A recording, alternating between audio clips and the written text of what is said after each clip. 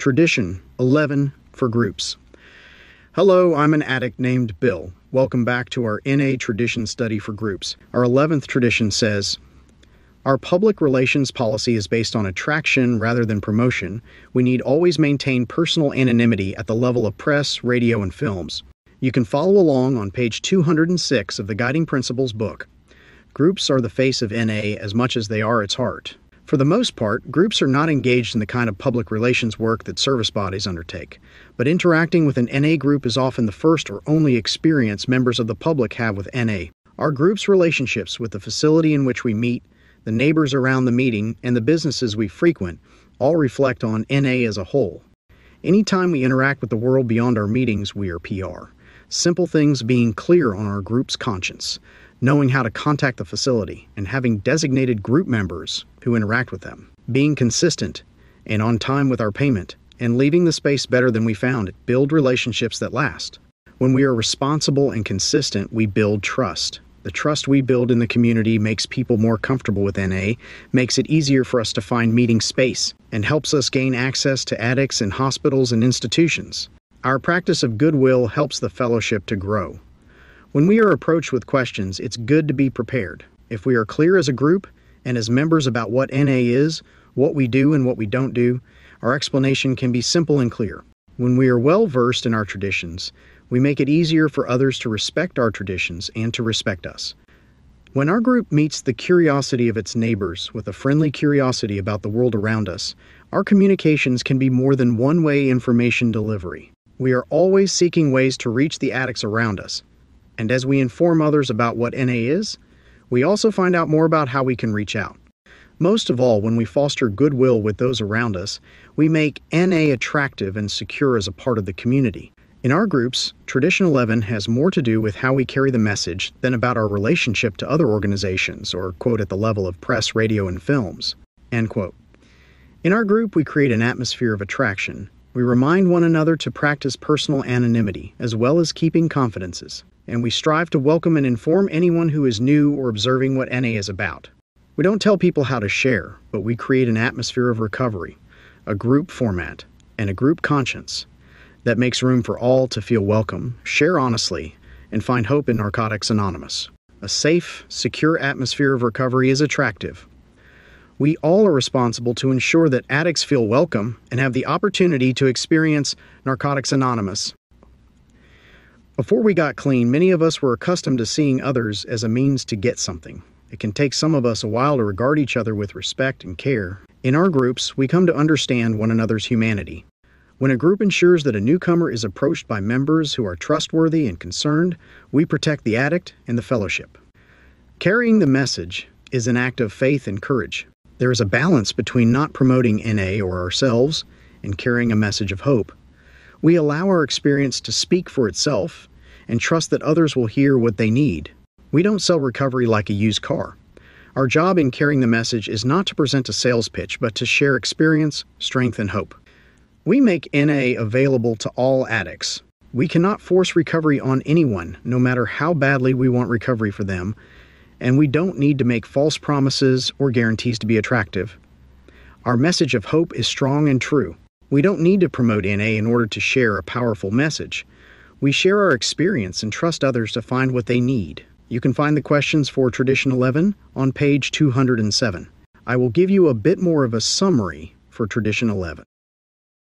The 11th tradition of Narcotics Anonymous emphasizes that the organization's approach to public relations is rooted in attraction rather than promotion and underscores the importance of personal anonymity in all public, including those involving the press and media. Groups serve as both the face and heart of NA, as interactions with them often form the first experience that the public has with the fellowship. To enhance their relationship with the community, groups should cultivate goodwill through responsible actions, such as maintaining clear communication with meeting venues, being punctual with payments, and leaving meeting spaces clean and better than they were found. Trust built through these actions facilitates positive perceptions of NA and aids in finding meeting spaces and accessing addicts in institutions. Clear communication about what NA is and is not is essential, enabling the group to succinctly explain its purpose while remaining respectful of the traditions. A spirit of curiosity fosters two way communication.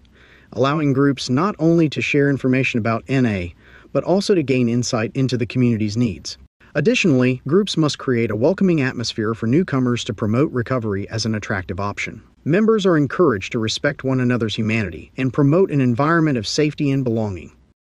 This approach affirms the importance of carrying a message of hope while consciously avoiding promoting NA as a product. Members are encouraged to share experiences, strength, and hope authentically without embellishment or false promises.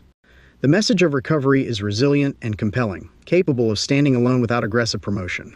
Ultimately, the responsibility of the group extends to ensuring newcomers feel welcomed and protected while allowing them to make their own decisions about recovery. By fostering relationships within their communities and sharing their experiences, NA groups contribute to a lasting impact and facilitate personal healing for those struggling with addiction.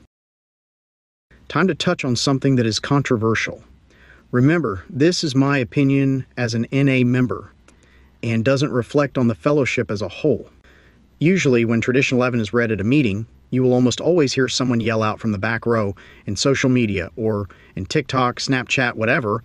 No, I'm not endorsing those platforms in any way, just an example.